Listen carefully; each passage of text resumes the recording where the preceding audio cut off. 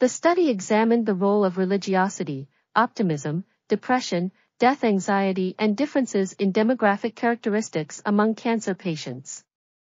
The results showed that cancer patients had higher levels of religiosity, optimism, lower levels of depression and lesser levels of death anxiety compared to non-cancer patients. Additionally, the study revealed that there are significant differences in religiosity, optimism, depression and death anxiety among cancer patients based on their gender, residential area and type of cancer. Furthermore, the study also found that cancer patients living in rural areas have higher levels of religiosity, optimism and lower levels of depression and death anxiety than those living in urban areas.